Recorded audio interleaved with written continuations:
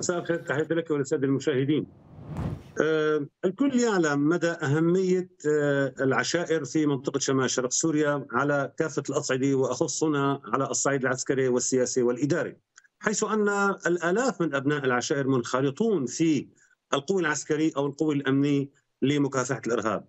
كذلك آه، الآلاف من موظفي الإدارة الذاتية هم من يحملون على عاتقهم العمل الإداري الذي يسعى إلى تحسين حياة المواطنين، كذلك في الشق السياسي والمظل السياسي للمنطقة، كذلك أبناء العشائر مشاركون مشاركه طيبه في تشكيل الواجهه السياسيه لإقليم شمال شرق سوريا، على هذا الأساس عندما تلتقي كل هذه الأطياف أو كل هذه القطاعات المهمه والحيويه في منطقة شمال شرق سوريا بهذه الشفافية وبهذا الانفتاح على كل المواضيع هي ممارسة ديمقراطية حكومية آه، آه، آه، جديدة وفريدة من نوعها على الجغرافيا السورية حيث يلتقي الجميع لكي يطرح وبجو شفاف وبدون أي ضغوطات وبدون أي معارضات لأي قضية تطرح.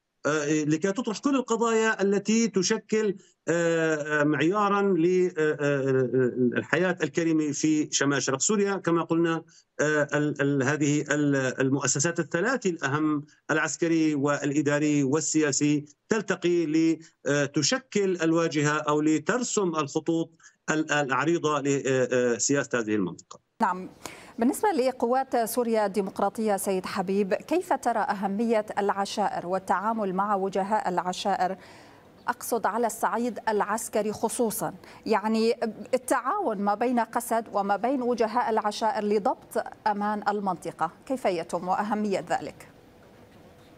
نتحدث على ثلاث مستويات مهمة المستوى الأول وهو محاربة تنظيم داعش وبهذا الصدد نوجه آه، التحية والشكر لوجهاء وشيوخ العشائر الذين كانوا كتفا بكتف مع القيادات العسكرية والقوات الأمنية للحفاظ على أمن وسلامة هذه المنطقة وأبنائها من ظل التنظيم إن كان في الحرب المباشرة مع التنظيم حتى 2019 وإن كان فيما بعد في ملاحقة خلايا وفلول التنظيم وهناك دور بارز لوجهاء وشيوخ العشائر وفي القضاء وفي الاستمرار بملاحقة هؤلاء.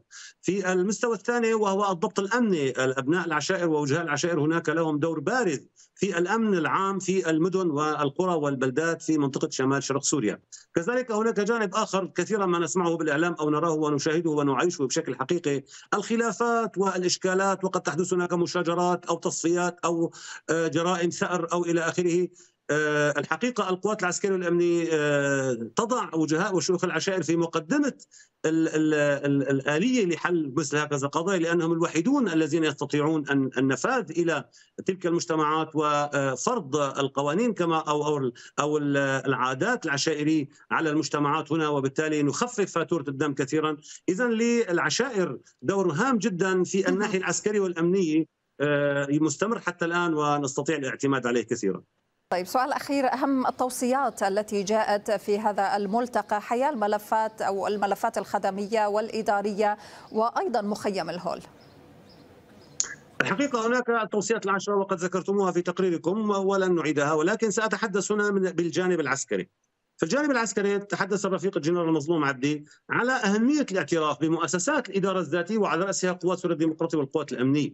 وهذا الأمر ليس منة من أحد وإنما هو حقيقة وهو أمر مستحق لهذه القوات التي قدمت ألاف الشهداء وألاف الجرحى للوصول إلى هذه المنطقة الآمنة والمتخلصة من تنظيم داعش الإرهابي. آه هذا الاعتراف يجب أن يكون محليا آه على مستوى الصعيد الوطني ويجب أن يكون آه أمميا لنقول نقول أو حتى على مستوى الجامعة العربية. آه، كذلك آه، هناك وعود جادة في بحث عملية إفراغ بعض المخيمات أو آه، قبول وساطات وجهاء العشائر في إخراج عوائل عناصر تنظيم الداعش من السجون أو من المخيمات التي التي يقطنون بها برعاية عشائريه وهذا الأمر هو آلية مستمرة ومتابعة ولكن هناك وعد من الجيران المظلوم عبدي بأن هذه بأن هذه الآلية تفعل بشكل أكبر. والاخيرا أتحدث هنا بالجانب العسكري وهو إصرارنا في قوات سوريا الديمقراطية على الدفاع عن هذه المنطقة. وتحدث الجنرال عن خطورة العدوان التركي وإرهاب الدولي التي تمارسه على مناطقنا والذي يقف عائقا في حل آه، الملف السوري بشكل عام وفي ملف آه، شمال شرق سوريا بشكل خاص. وبالتالي مستمرون نحن كقوات سوريا الديمقراطيه وقوات أمنية وللدفاع عن هذه المنطقة بكل ما أوتينا من قوة. جزيل الشكر لكل هذه المعلومات وهذه الإحاطة من شمال وشرق سوريا. محمود حبيب الناطق الرسمي باسم قوات الشمال الديمقراطي.